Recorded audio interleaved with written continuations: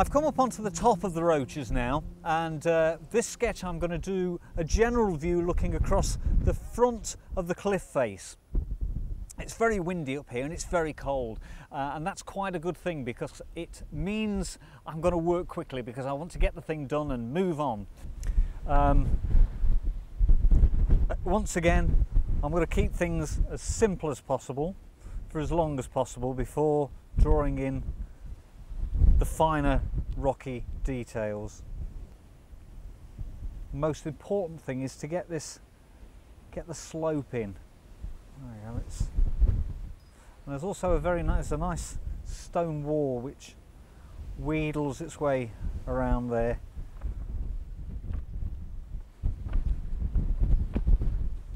Very often when conditions are as windy as this and as cold as this and you have to work quickly, that's not a bad thing. When you're forced to work quickly, it means you're more selective. You pick out the things that interest you and you ignore the things that don't interest you. One of the things you have to look out for when you're doing a rock face like this is to be wary of creating faces, Give them the rocks noses and eyes. It's easy to do. Just working my way along there, just getting the the shape of the outcropping in after me.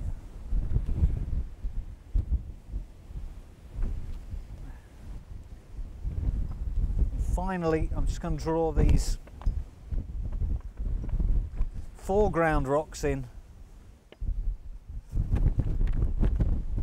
If I can do it before the wind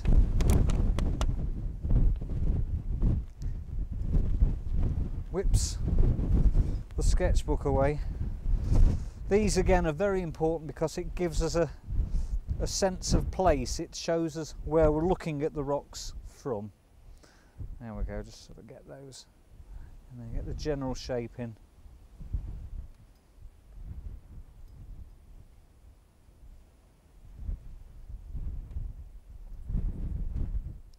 The other thing that I'm drawing here, there's a, uh, there's a line of trees which I'm going to include on the sketch, but just to remind me so that I don't get confused later on, I am actually going to write a little note here which just says trees.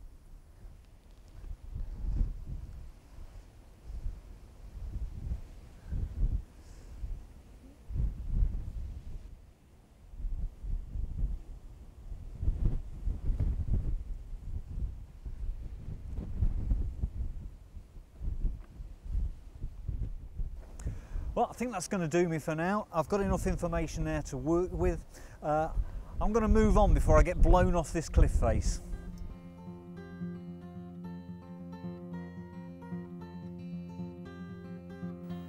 The Roaches at their highest point reach 1500 feet. And boy did it feel like it out in that wind.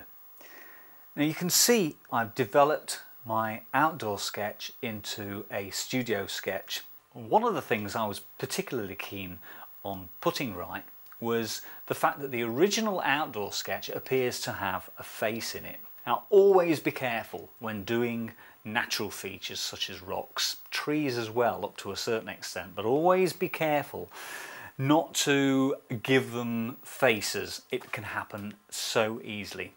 So when I was producing the studio sketch, it was particularly important to me to try and avoid giving it any facial features whatsoever. For this painting I want to take a little bit of a risk and do something a little bit different with it. Uh, with the other painting I carefully planned it out on the watercolour paper. Uh, in this instance I'm going to go straight in there without any pre-planning whatsoever. On top of which I want to change the mood considerably. I want to make it a sunset and I'm going to put some snow on the ground and maybe introduce a few sheep. Let's see how it goes. I'm going to begin by mixing a blue-grey mix from the French ultramarine and the burnt umber. And I'm going to go straight in there and paint the rocks.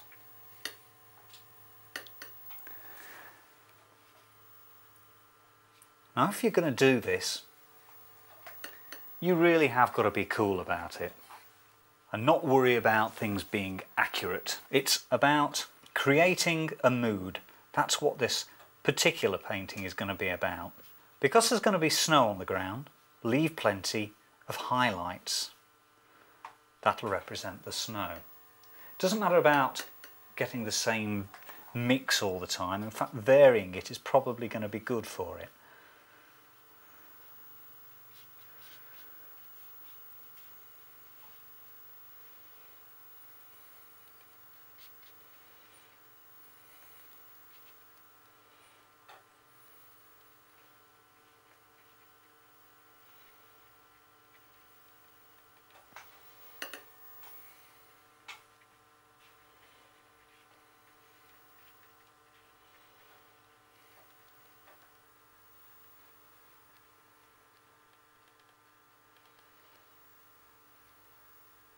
Don't forget the foreground. Again, there's going to be snow on the ground, so be plenty of gaps, plenty of highlights there. Just get the general shape of things. Keep telling yourself, near enough is good enough.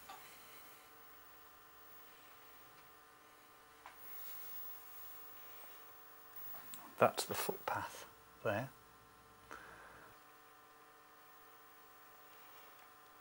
While that's still wet, I'm going to mix up some seriously red sky. I'm mixing this from cadmium red. I'm going to go straight in there with the red and while it's still damp I'm going to add to it French ultramarine so I should create a nice moody sunsetty sky. This is the theory anyway, let's see, hopefully this is what's going to happen.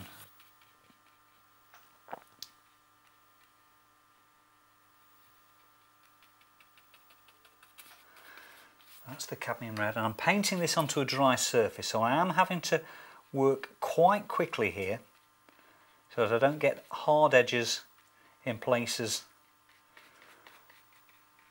that it's inappropriate. There's the cadmium red. Let's draw it straight across there.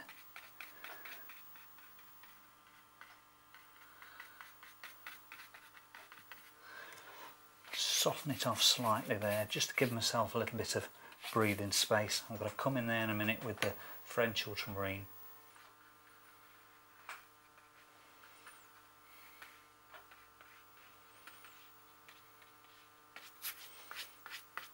Do me a little bit more nice and rich.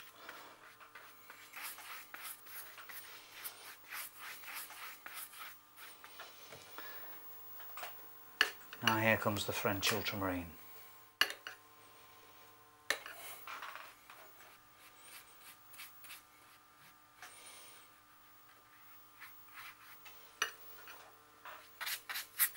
I'm going to chop and change around a little bit, a bit more of the cadmium red in there, because I want to give the impression of some clouds in the sky. The fun part about this is that I have absolutely no idea how this is going to turn out. I'm just using a couple of colours that I think are going to mix together quite well and create a nice interesting mood. Beyond that I have absolutely no idea. Forget the trees, there's a line of trees down here so I'm going to drop those in there while it's still relatively damp.